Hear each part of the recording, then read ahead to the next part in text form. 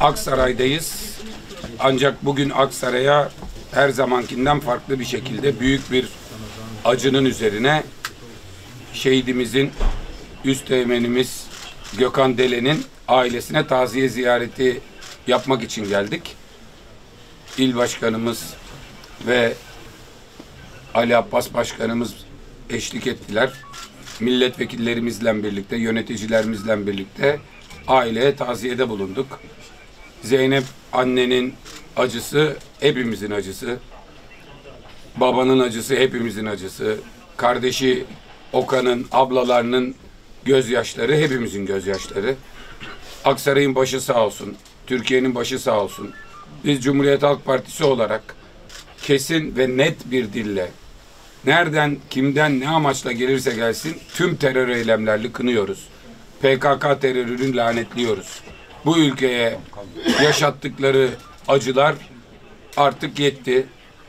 Tabii geç, bundan birkaç hafta önce de benzer bir acıyla iki gün üst üste altışar şehit vermiştik. Biz o günlerde bu şehitlerin verilmesinde kusur, ihmal, hata var mı? Bunları sorgulayalım, konuşalım ki bir daha olmasın dedik. Maalesef çok üzülerek gördük ki aynı geçici üst bölgesinde tekrar dokuz tane şehit. Nihayet bugün mecliste iki bakan geldi bilgi verdi. Geçen sefer demiştik.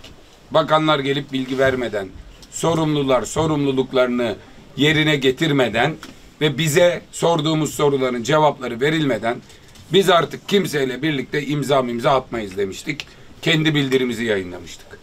Bugün de atmadık ama bugün memnuniyetle görüyorum ki geçen sefer CHP imza atmadığında birlikte imza atan partilerden muhalefet partileri de artık o imzadan imtina ettiler ve herkes ya kendi bildirgesini imzaladı ya da bir siyasi partinin ifadelerine ya da Cumhur İttifakı'nın ifadelerinin altına imza atmak yerine her gün herkes bugün çıktı mecliste kendi sözünü söyledi.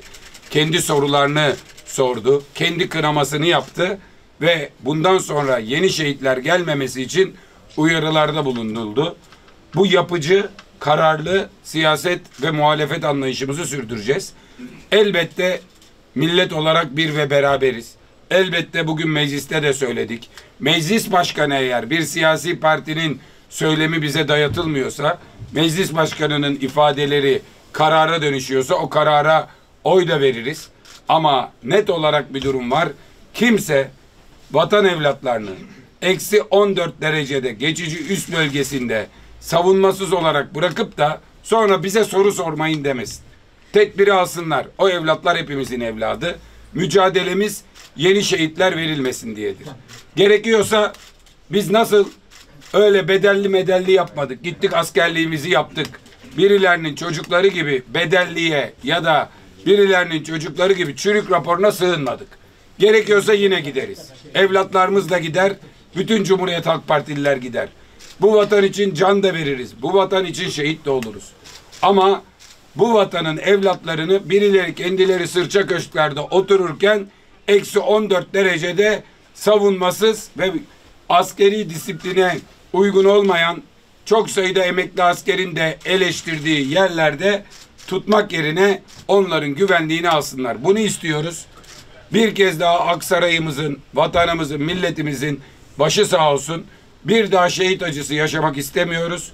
Türkiye Cumhuriyeti'ne, ay yıldızlı al bayrağımıza, bu ülkenin bölünmez bütünlüğüne de sonuna kadar sahip çıkıyoruz.